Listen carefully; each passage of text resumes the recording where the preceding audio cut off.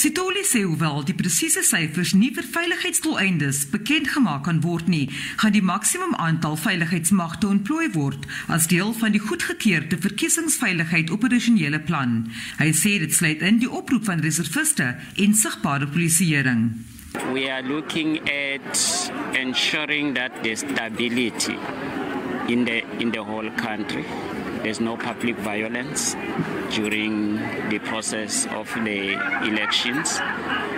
We're also looking at criminality uh, in overall uh, so that if there's any strategic or disruptive criminals and then they are taken to, to book. There's also potential threats like your taxi violence and other related threats. Setoli sê pogings om bende geweld te pak duur voort in vennootskap met streeks en internasionale organisasies.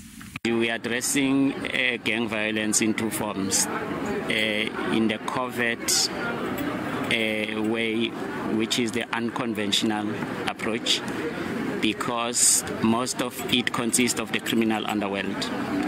And uh, we do have uh, our crime detection together with DPCI running an OCTA process, an organized crime process uh, into that.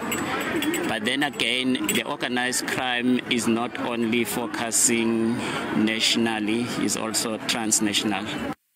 'n Aantal polisiebeamptes is vir langdiens van 30 en 40 jaar vereer, terwyl goue en silwer kruismedaljes toegekend is vir dapperheid en toewyding om die lewens van burgers te beskerm en te red. Die swart wat aan die nuut aangestelde Weskaapse polisiekommissaris, generaal-majoor Tembisile Patekile toegekend is, simboliseer die oorhandiging van die bevelsketting. Vanessa Esai Kanis, Kaapstad.